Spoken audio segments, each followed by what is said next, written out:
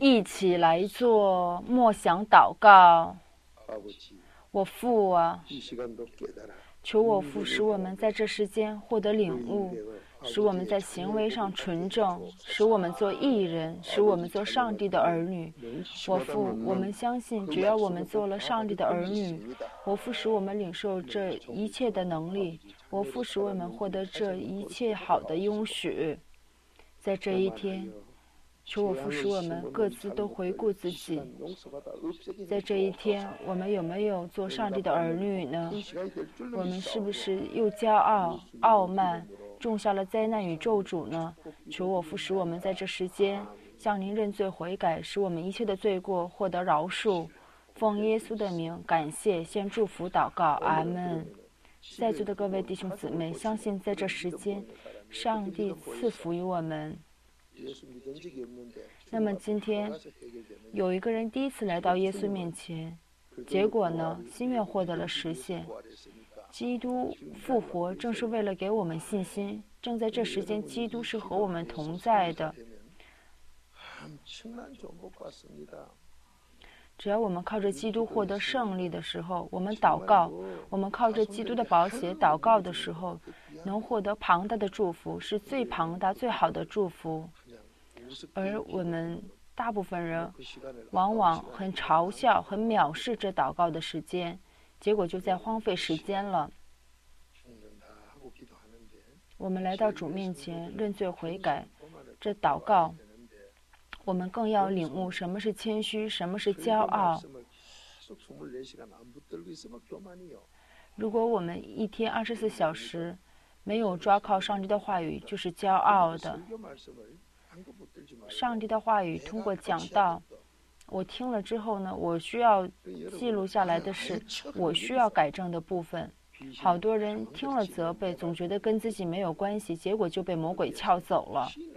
我们要承认，主啊，我就是这样子的，主啊，我心里就是这样肮脏的心理。我们祖上也曾经犯了这样的罪过，我们如实向主承认我们罪，我们如实向主承认我们祖上所犯的罪。这一切实实在在的拿到主面前，如实的承认、告白自身的罪过。我们心里想起来的，说明我们心里都带着这方面的罪恶。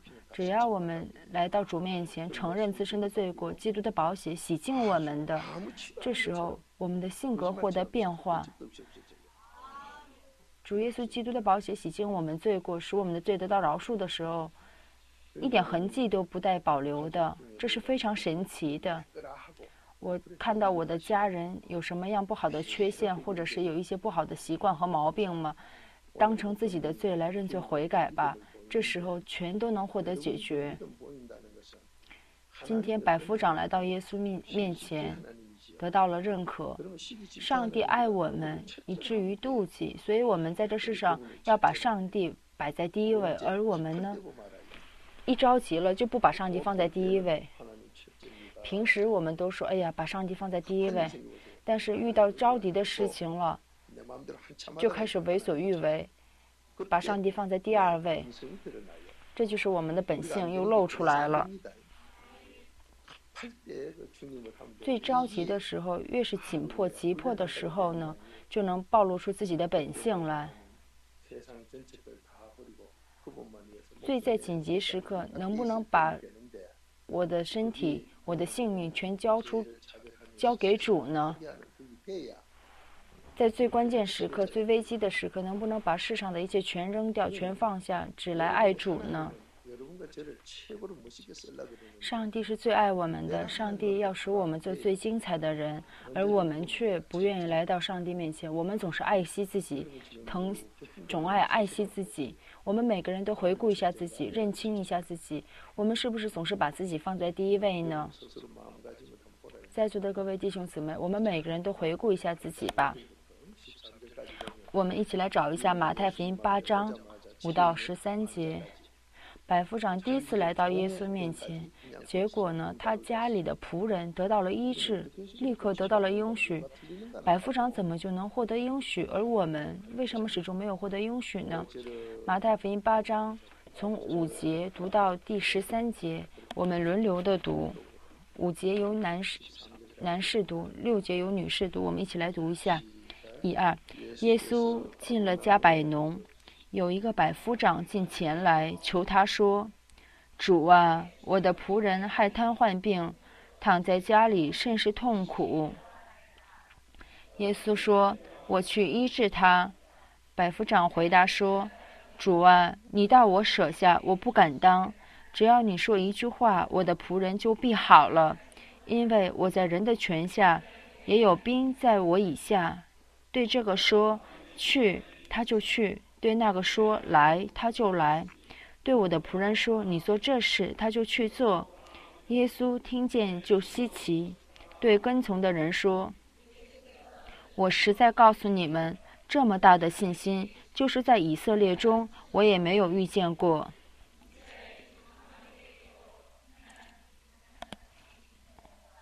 我又告诉你们，从东从西。将有许多人来，在天国里与亚伯拉罕、以撒、雅各一同坐席；唯有本国的子民竟被赶到外边黑暗里去，在那里必要哀哭切齿了。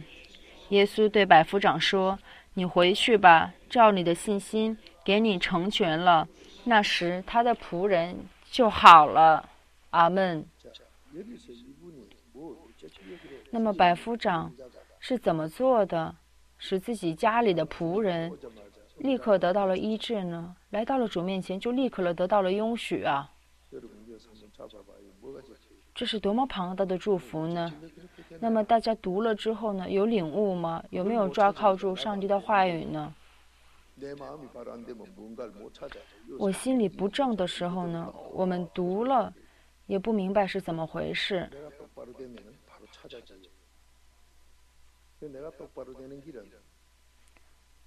我们来到上帝面前，我们都要认罪悔改。无论是什么样的人，都要认罪悔改，才能领悟上帝的旨意。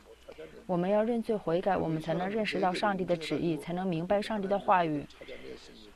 那么，这个人怎么就怎么怎么认罪悔改的，就能领悟上帝的旨意了呢？大家和我，我们来到耶稣面前，我们来到光里面，我们的罪恶就能一一暴露出来。百夫长来到了主面前。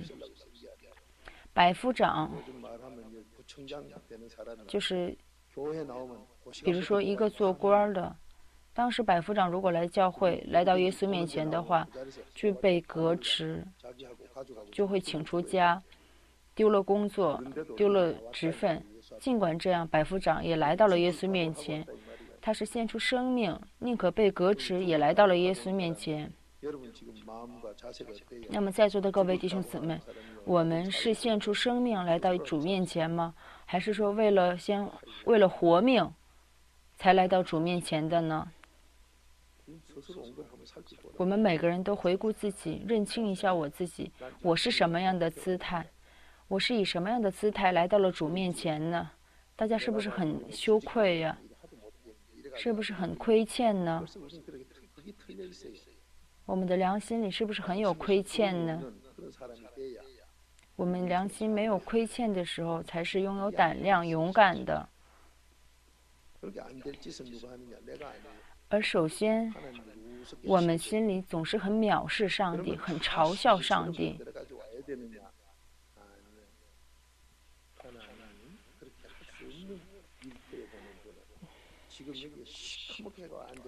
当然了，我们的心是什么样的，上帝全都知道；我们的姿态是什么样的，上帝全都知道。我们是不是懒惰？我们是不是勤快的？我们的行为、想法、我们的心思，上帝全都知道。诗篇一百三十九篇一节，我们绝不可能骗到上帝。我们的想法、心思，上帝是最了解、最明白的。所以，我们的一举一动，我们的心思，比如说，我们去见一个领导，哎呦，我们可会把自己打扮得漂漂亮亮、干干净净，而来到主面前的时候呢，就随便就邋里邋遢的就来了。在我心里，上帝的地位和一个领导的地位，连一个领导的地位都不如。大家心里良心一点亏欠都没有吗？哎呦，牧师啊，这不是每天都一样来教会吗？那么大家每天上班去见领导的时候，也是随便勒勒里勒特的去吗？是不是公司怎么规定大家穿什么样的衣服，他们大家就按照公司的规定穿工服，穿一些。职业装去上班呢？不是说我们的外表要穿什么样子来到教会，是我们的心态，是我们的心理的姿态，是怎样面对我们的主，是怎样对待我们的上帝的。更何况我们是来到全能者上帝面前呀。我们在小的事情上如此的懒惰，如此的不屑，如此的怠慢。大家知道，甚至在信其他宗教的一些人，大家知道，人家那个派场讲究的也多精细呀。我们今天如实的向主承认告白，我是什么样的心态，我是什么样的心思。不足的仆人，我朴牧师也一样。我经常跟大家告白，出汗了，哎呦，身体也没力气了，但是呢，要洗呀。要洗干净了呀，怎么还要洗一次呢？我也知道这麻烦，我也知道我也不想洗。而每当这时候，上帝给我的声音是：是啊，为了你一个生命，我我都不爱惜自己的儿子，把儿子的生命都给了你了，而你连你连为了我一次洗澡都不愿意吗？我们每个人都回顾自己，我们都是带着亏欠的。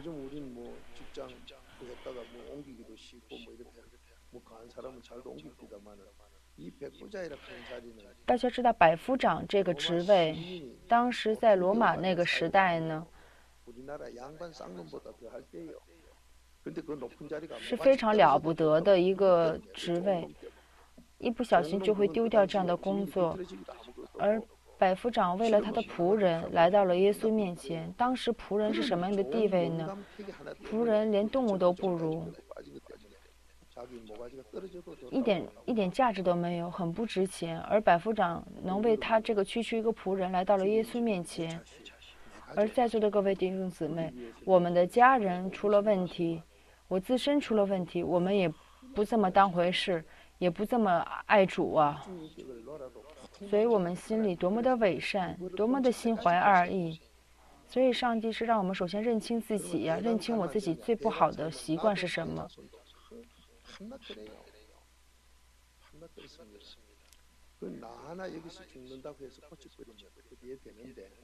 我们献出生命来爱主的时候呢，就能得到医治，能得到解决。而我们总是把上帝放在第二位，总是把自己摆在第一位。我们有时候会会遇见一些很惨的人，在路上会看到一些很凄惨的状况。这都是自己和自己的祖上种下的。有时候我们看一个人好贫穷，给点吃的，帮帮他。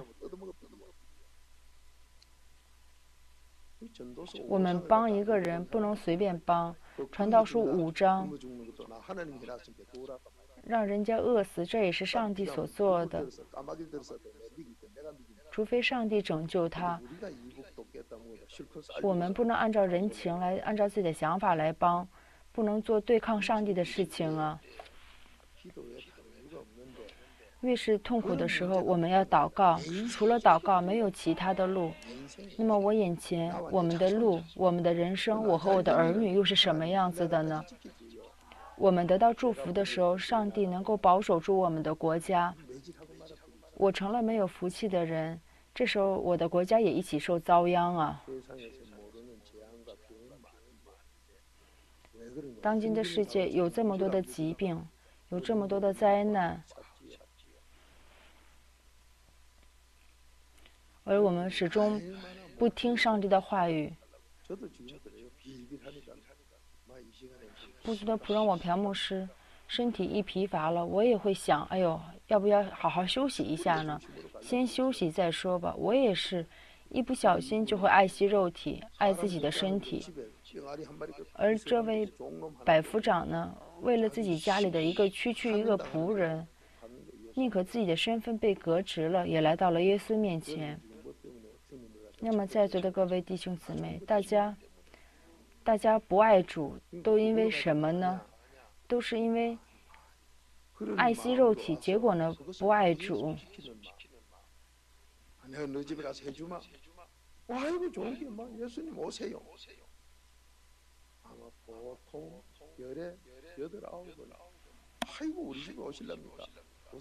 耶稣要去我们的舍下。百夫长就说：“您到我舍下，我不敢当，不敢当。”提摩太后书二章。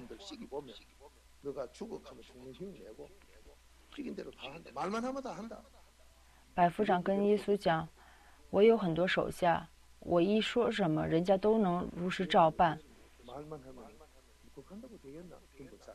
而大家和我，我们心里有这样的信心吗？百夫长呢是有确信的，只要讲一句话，这一定能行。宁可自己的命丢掉了，宁可自己的工作丢了，宁可自己的饭碗都要丢了，而这一切百夫长全都不怕。来到耶稣面前，耶稣要亲自去百夫长家里，给这百夫长的仆人治病。但是呢，百夫长说我不敢当。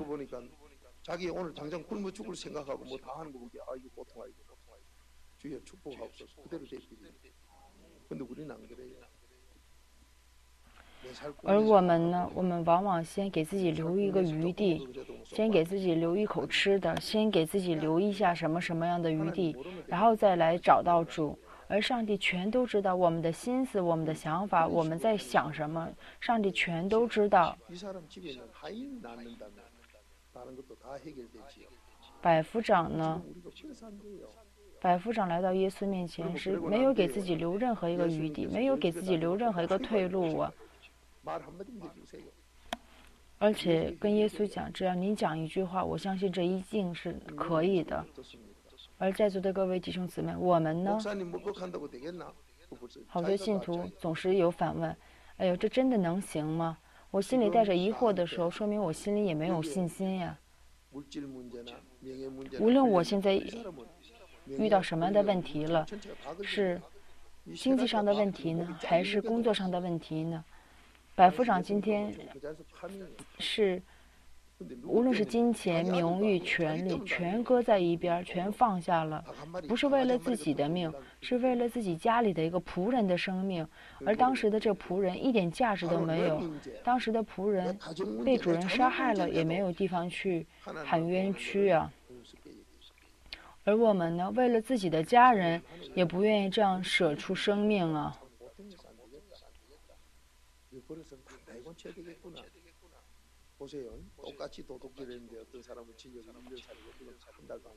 我们在这世上，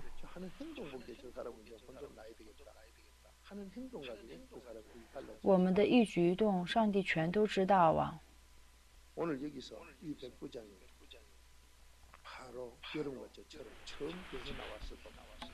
百夫长，那么。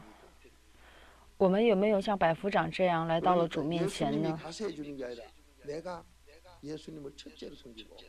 首先，我心里服侍耶稣，我内心服侍耶稣的时候，耶稣的话语是如实实现的。而我们呢，光嘴上说把上帝放在第一位，但是遇到关键的事情，遇到一些紧急状况了，就把上帝放在另一边上。难怪会在辛苦受累中挣扎呢。无论遇到什么情况，只要我们能把上帝放在第一位，上帝就能为我们解决一切。而我们呢，总是遇到事儿了，总是说：“哎呀，我来解决吧，我来弄吧。”然后呢，把上帝放在第三位了。这就是大家和我我们最大的缺点。为什么海外的人说韩国人信耶稣，怎么在教会里是一个样？出了门就不像是信耶稣的人了，我们竟是这样的，总是想利用上帝来填充自己的利益，这都是不能去天国的呀。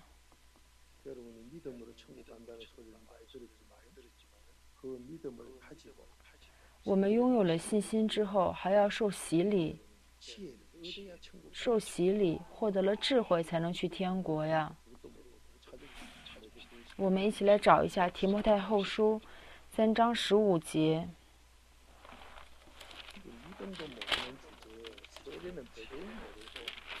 如果大家不认识信心，那么大家也不认识什么是受洗礼，大家也不认识什么是真理，大家也不知道什么是智慧。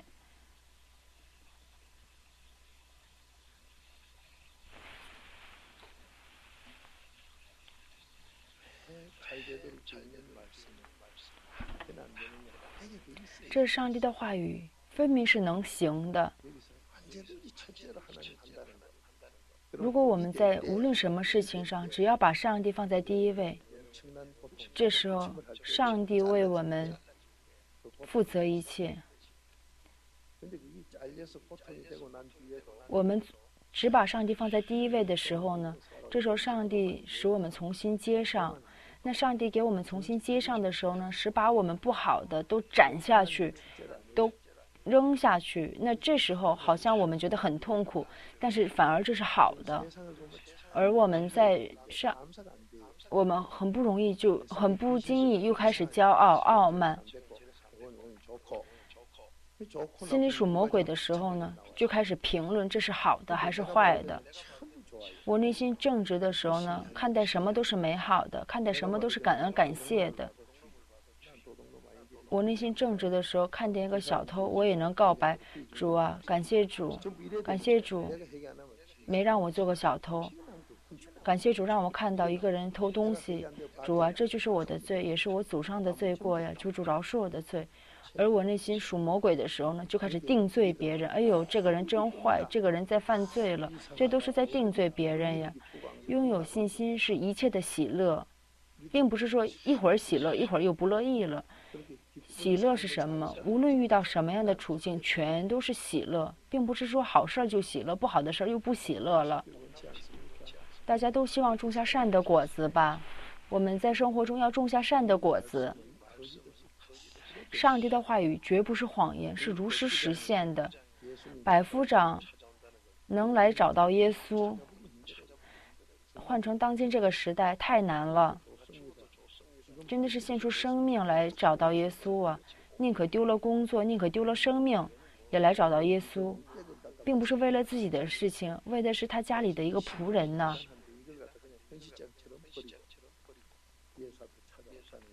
当时是很讲究身份的时代，而百夫长呢，宁可不要这个身份了，为了家里的一个区区一个仆人。当时那个仆人，当时那个年代，仆人是最不值钱、最没有价值的。耶稣就说：“哇，你的信心真的好大，我去你们家吧。”提摩太后书，提摩太后书二章四节，百夫长就说：“主啊，我不敢当。”我也有很多手下，只要我讲话，人家就听我的。那么，在座的各位弟兄姊妹，有时候不足的仆人，我朴牧师交代一些事情给我们信徒，我们的信徒呢，非要按自己的想法来做事儿。一看，这信徒是得不到祝福的表现呀。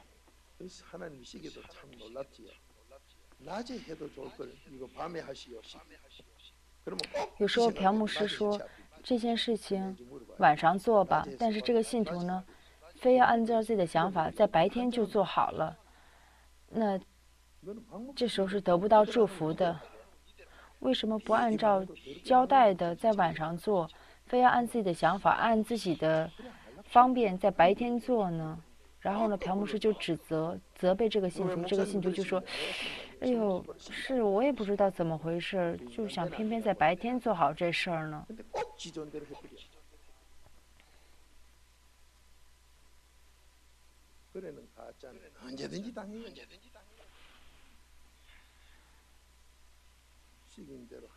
只要按照交代的如实的做，就能获得庞大的祝福，而我们却总是不明白这一点。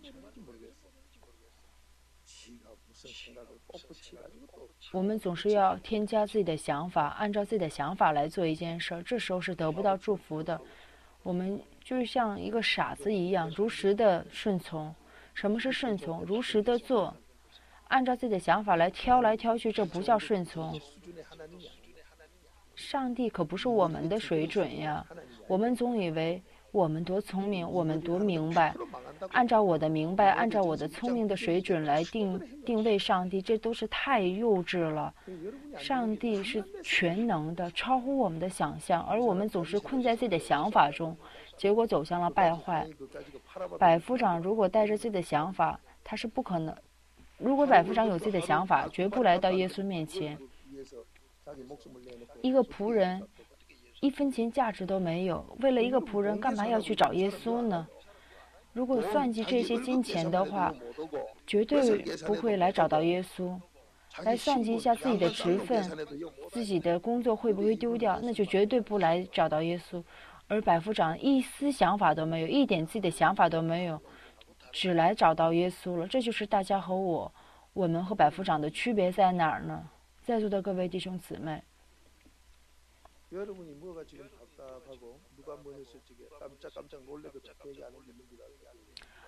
我们遇到特别困惑的事情的时候，总是被一惊一吓的，说明我没有悔改，我心里还有污秽肮脏的罪。我我认罪悔改充分了，不会被一惊一吓的。除我内心属魔鬼的时候，才会一惊一吓，被吓住。大家真真切切的认罪悔改，把一切的罪恶全承认悔改了，这时候呢是平安的，不会被一惊一吓的，这是非常非常神奇的。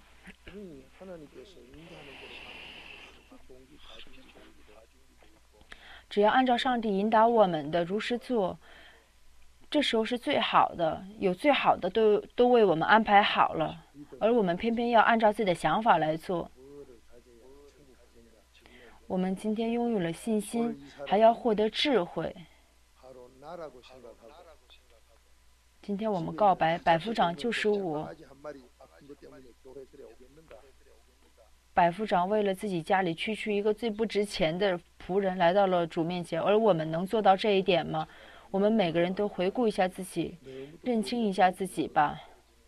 我们就能认识到自己的差距，我们就能认识到自己的缺点和缺陷在哪儿。有些信徒就说：“牧师啊，其他教会好像没这么讲究呢。”我们的关注点是我能不能去天国，不是跟别人来对比呀。上帝的话语，我听着不像蜂蜜一样甘甜的时候，说明我已经生病了，我内心被魔鬼被魔鬼给撬去了。不足的仆人，我朴牧师悔改一欠缺了，我也不爱默想上帝的话语。我也不爱来到主面前，这时候呢，就开始有罪恶不断的涌出来。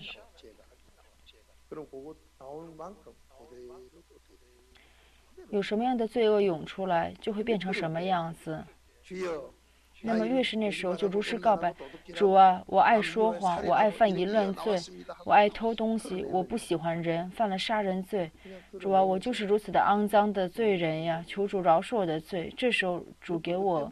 眼泪，主说了，正是因为你犯了这些罪，让我死去了，你还要让我死吗？这时候我眼泪就不住的流下来，我真的是坏人呀！我明明因我的罪让主耶稣基督死在了十字架上，而我还要犯这样的罪，还故意犯这样的罪去杀死耶稣，我真是个坏人。大家有没有这样认罪悔改过呢？如果大家没有这样的认罪悔改的话，大家的心真的是太顽梗了。我们的心灵顽梗的时候呢，不仅自己悲惨，是还会祸害自己的儿女呀。我们在这世上好像多为自己的儿女着想，但是行为上竟祸害儿女。我们非要亲眼看到儿女。受痛苦，我们非要亲眼看到儿女受遭殃了，我们才肯醒悟，才肯认罪悔改吗？在这世上，谁都会说种下什么就得什么。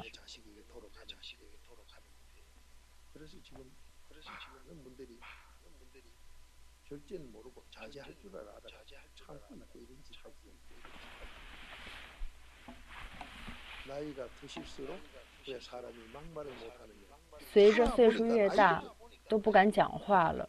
发现这话不能随便说。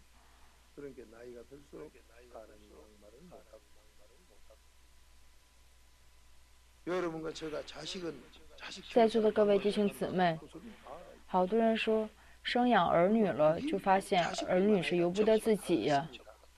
而世上的一切都是这样，由不得自己的。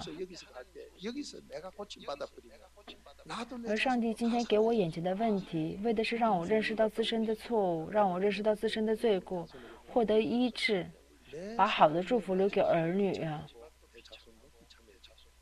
而我们呢，始终不归向上帝。这时候呢，不仅自己悲惨，使自己的儿女也悲惨。而主耶稣基督的福音是为我们解决这一切的事情啊！百夫长来到耶稣面前，立刻就得到了应许。我们也是能行的。大家知道，患麻风病的出脓了，那么麻风病患者身上出脓了，那时候我能用我的嘴去吸他那个伤口吗？我有真实的爱，就能去用自己的嘴去吸那个麻风病的患者的那个伤口，而我们呢，自己身上不想沾一点的黑，光自己想得福。百夫长呢，宁可丢掉名分，宁可丢掉生命，宁可丢掉工作，也来到了耶稣面前，这正是爱呀。为了他的仆人，百夫长来到耶稣面前，这是爱。雅各书二章十五节，妓女拉合为了隐藏那两个探子，献出了他的生命。结果呢，他得救了，妓女拉和一家全得救了。耶利哥城全倒下的时候，只有那个家庭得救了，而且他成了萨门的夫人呀。只要我们今天能有这个信心，在生活中有这样的行为。艺人的行为就能得到祝福，而我们呢，总是要投靠自己的利益，为了自己的利益来做。结果呢，有些人跑一百米，九十九米都跑得挺好的，就差第一，就差剩下的一米的时候呢，为了自己的利益就没有跑完。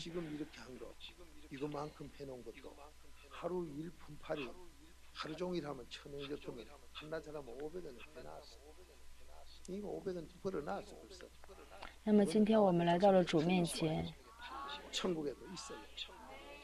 我们把好的祝福留给我们的儿女吧。来到主面前，主绝对不会让我们有亏损的。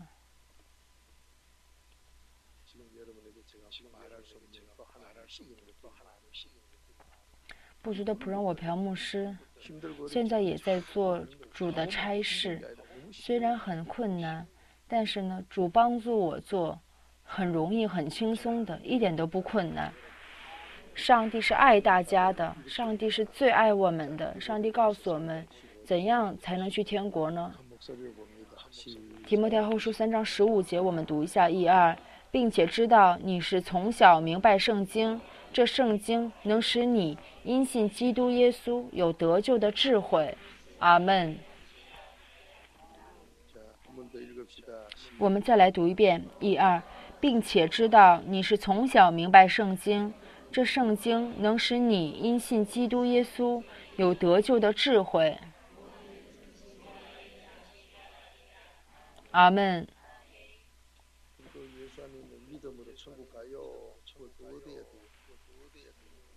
我们靠着基督耶稣，使我们去天国。基督耶稣在我心里的时候，这正是信心。拥有了这信心，我们还要获得智慧。而我们心里肮脏的时候，是得不到智慧的。正因二章十节，因为智慧是进入到我们心灵里，而我们心灵肮脏污秽的时候呢，是得不到智慧。所以我们要多认罪，多悔改。我们多认罪，多悔改，这时候性格就能得到变化，一个人也能得到变化，行为得到变化。一个人爱发脾气，为什么总爱发脾气？懒惰的总懒惰，说明这个人没认罪，也没悔改呀。行为没有变化的时候，说明这个人没有认罪，没有悔改。我们献出生命能悔改一样的罪过的时候呢，是能得到变化，能得到医治的。百夫长来到耶稣面前，把自己全展露出来了。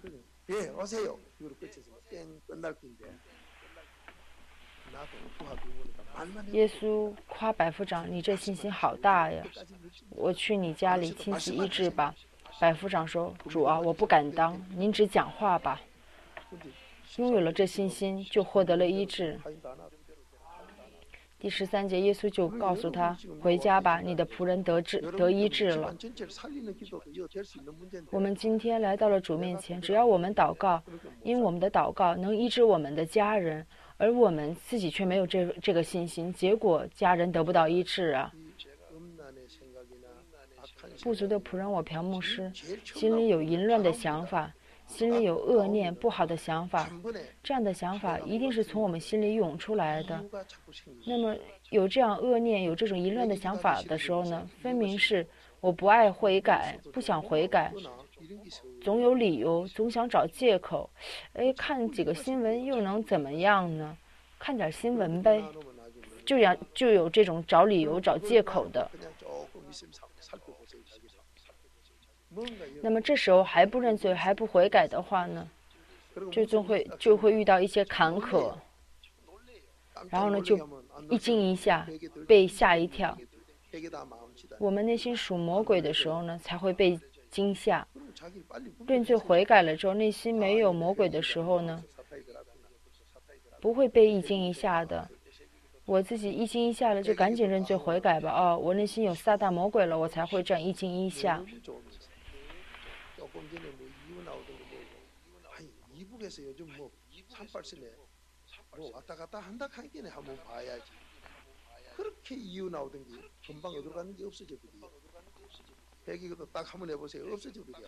我的悔改充分了，多认罪、多悔改了之后呢，就不再有任何的借口，也没有任何的理由了。全能者上帝保护我，全能者上帝爱我。我不需要担心其他的，就有这样的确信和信心。而悔改一欠缺了，悔改一旦少了，就有理由，就有一些借口。哎，我得去，我得去亲自琢磨琢磨，我得去亲自考察考察。这时候分明是我心里生病了，我心里出故障了，心里有担心忧愁的时候呢，导致家人也遇到一些问题呀。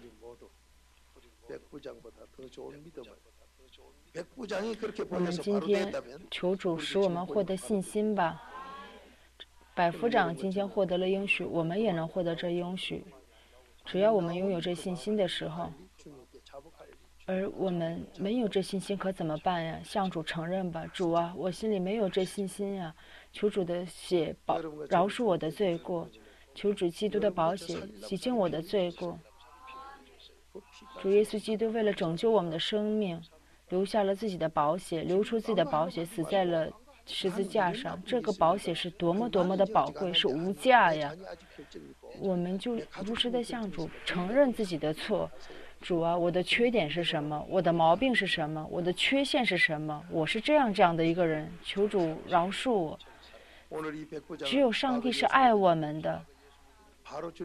百夫长曾经没有信过耶稣，是第一次来到耶稣，却是献出生命来爱了主，结果主给了他应许。我们来到主面前认罪悔改的时候，眼前的灾难咒诅也能改变成祝福。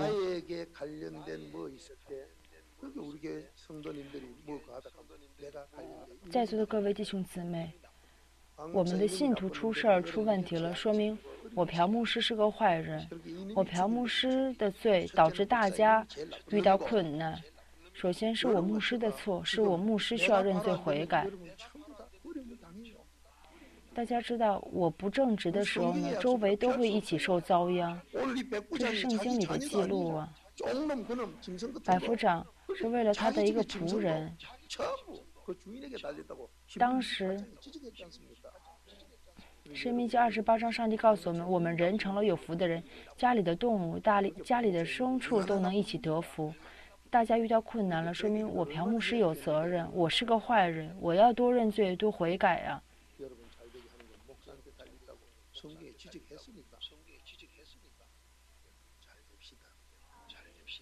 真切的祝愿大家领受祝福啊！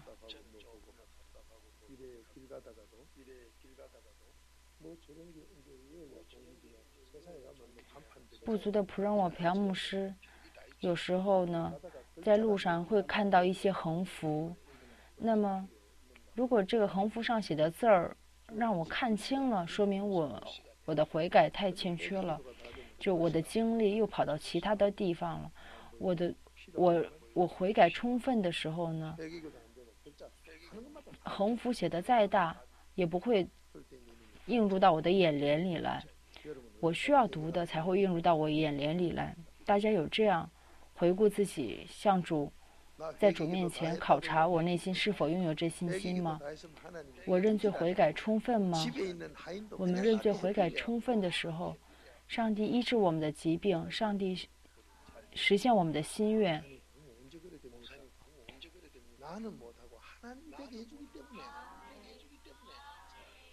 我们什么都做不到，上帝亲自造就我们。我们心里都有什么样的困惑呢？全。向主一一的陈述，向主一一的承认、告白，我们认罪祷告吧。我们心里有什么，全拿到主面前，如实的告白、承认吧。上帝啊，我的仆人为什么身患了中风病？为什么我的家人遇到了这样的痛苦呢？我的仆人的事儿就跟我没关系吗？我们信徒出问题了，跟我朴牧师没有关系吗？我的信徒出问题了，说明是我朴牧师的责任呀。